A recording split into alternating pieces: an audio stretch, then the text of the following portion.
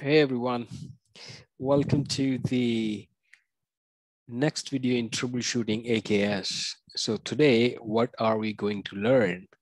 Well, in today's lab, we are going to troubleshoot an application error.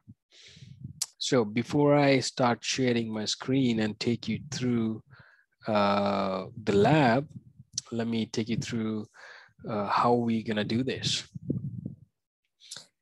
Well, we have already covered basics of the troubleshooting in previous videos. And today, what we're gonna do, we are going to deploy a very simple application with the front end and back end.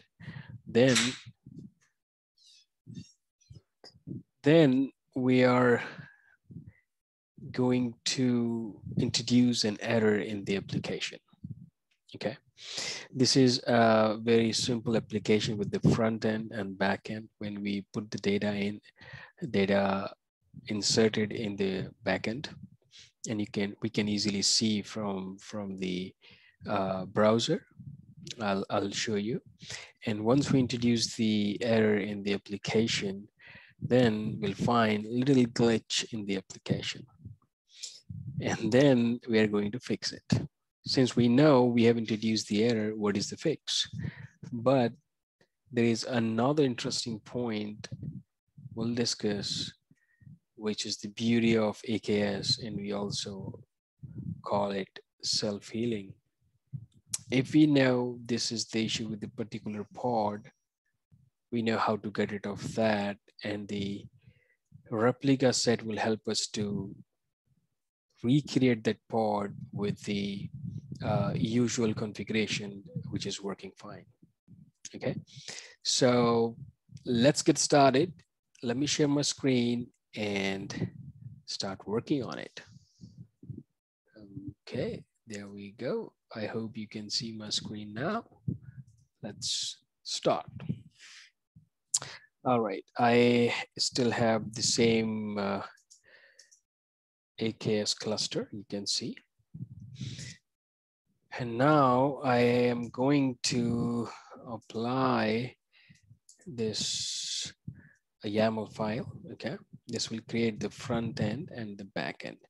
Now, if I see pods, I'll see we got three front end and we got three back end, as you can see right here, three front end and three, these are the back end for the Redis. That is our uh, DB here, okay? So what we're gonna do now? Well, we'll go ahead and check the service created for the front-end application so that we can browse it, right? Right, this is our uh, public IP. And this uh, YAML file and all, you, you, I I have not created it. I have borrowed it from the internet, from the GitHub. I'll share a link with you. Uh, it is available publicly and you can utilize the YAML file because I'm not a developer, I'm an architect. You know that I work with one of the best organization, uh, Rackspace. And I'm also certified trainer. You know that I'm MCT. So I'm not a developer, so I don't develop these YAML files.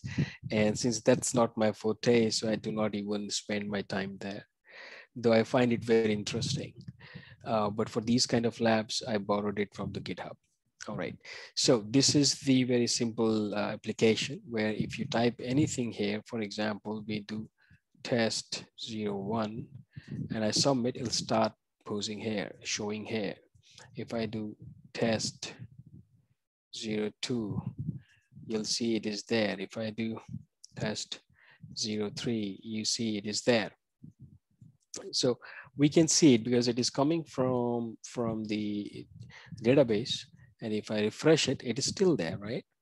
Now let me go back to my AKS cluster. Let me clear this out. Now this is a very simple lab to, to learn the steps of troubleshooting, okay? So what we're gonna do, because we know if we do kubectl get pods, uh, I have three front-end pods and all these three front-end pods taking care of the traffic which is coming from the internet. If I browse, it will land in one of these uh, pods. So to introduce the uh, error and save time, let's get rid of two pods. Let it be single one, which will cater the traffic or request. So let me do uh, scaling replicas, it is scaling down. Replicas is equal to one. Where on the deployment? Which deployment? Front-end deployment. It's simple if I have not made any spelling mistake. Wonderful. Now, if I do pods, we have only one front end and two are terminating okay? So this is our pod. So let's get and introduce an error inside this pod. And how can we do that? We need to exec inside the pod. So what's the command? It's kubectl exec it, and we need to provide the pod name right here. And let's let's do bash. So I'll be inside the uh, pod now. You can see right here, we are inside the pod. And now what I need to do, let me, as always, we need, let's try to update it and then we'll install Vim. Why we need Vim? Because we need to manipulate or introduce an error in the uh, .php for this application. Okay, so as soon as it's updated, we'll install uh, vim apt install vim now it's installing vim and vim is our editor uh, we all know that and people who are uh, not uh, from linux background they they they could simply follow me how i'm doing vim is editor in Linux, just like we have Notepad and Notepad++, Plus but it's Linux, so it would be little, you know, command oriented. You need to push some buttons to work on it. All right. So uh, me too belongs to the uh, Windows background, but I learned few basics of the Linux so that I could take care of these open source technologies, which is uh, more of a Linux oriented. That's what I found, but it's not necessary or mandatory that you should know uh, Linux. You should be the Linux champ to learn these things. You should know the basic Linux, that would be good enough. All right, so um, I have Vim now. Let me open this file, PHP in Vim. And now I'm going to introduce the error by adding a little bit of code. Uh, and when you when you open things in Vim, you need to either press I or insert so that you can edit it. So what I'm gonna do, I'm gonna add a few commands here which will help me to introduce error. And this is a very interesting error. That's why, that's why I chose it. And I'll show you why. Okay, now what we need to do, we need to go back and I can uh, let it be, it's fine. We can exit out later or we can come here and add, let me refresh it once. It's working fine. Let me do test zero, test zero four. Oh, come on, test zero four. And it is getting in, right? So you must be wondering, where is the error? You just added a chunk of code. Uh, it doesn't seem to be error. Well, there is your error. You see everything is here, but this is in this particular session. If you refresh it, you see test four and five has lost. It did not get into the database. So it's not visible here. So this is a very uncommon error. We usually do not find, but you know, this is an error, right? And this is such, such kind of error can easily be uh, passed through the QA, right? Uh, but now what can we do? right? the very, very first thing, uh, we can simply go ahead and read the logs. We, I, I, I showed you how to read the logs in the previous uh, videos. So let me go ahead and do that. We can exit out of here and we can simply do kubectl logs, logs of whom, logs of that uh, uh, pod, which is running at the backend, okay? Simply come here, paste it. Okay, and if you do hyphen F, it will show you the live feed of the logs. So these are the logs you can simply see. I'm not able to see much here. You can grab it. How could you grab it? You can grab with the with the data that we are trying to insert, like test and all. If I do grep, uh, let me do test. Okay, it grabbed the test. We see test one, two, three, four, and then the five. These are the uh, messages that we are trying to insert. So now we can see it is there and at what time it's 26, right? 2021, 14 July 26. And you can easily see in the main log right here. Now we can see there is this error which says, uh, let me highlight it. Uh, where is the draw option? Dun, dun, dun, it says host name at the beginning of set command is localhost. CMD, uh, we can we can simply see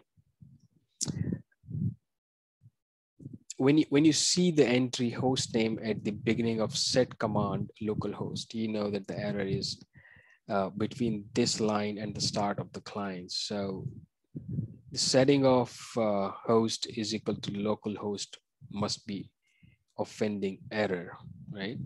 So if you remember what I entered there, it was the same code which states the same thing, right? So anyways, we are not learning the code here or the YAML file. The point is there is this uh, replica uh, uh, pod where something got messed up and our application is not inserting the messages in the database. Through the logs, we can easily find out where is the error and we can try to fix it. Or the best option is the beauty of uh, Kubernetes is, let me show you. It is very simple. What you need to do, you need to do kubectl delete pod. Which pod? This one. Now, once you delete this pod, because we know something is wrong with this particular pod, it will be gone and we'll be back to the same or the old or the working configuration that we already had previously when we ran this YAML file. So it is running now. If I do test 04 submit, test 05 submit, and I refresh, we see everything is getting into the database or stored. So there are like two ways of uh, solving this kind of problem, okay? uh, this kind of bug, you can either navigate into the pod and make the code changes the way I introduced it. But we introduce it for the sake of testing, troubleshooting, understanding. Or you can ask Kubernetes to give us a healthy new pod. And remember, it is not recommended, it is not at all recommended to make manual changes to pod. So that's why it is always best what we did okay and this is this is this is this is it this is all uh, the lab that i wanted to show you and there are like few points i would like to summarize at the end what we did well errors can come in any uh, shape and form the way we introduce it and most of the errors encountered by the deployment team are configuration issues, okay? Something is messed up with the configuration. So you got to use a log to identify the root cause.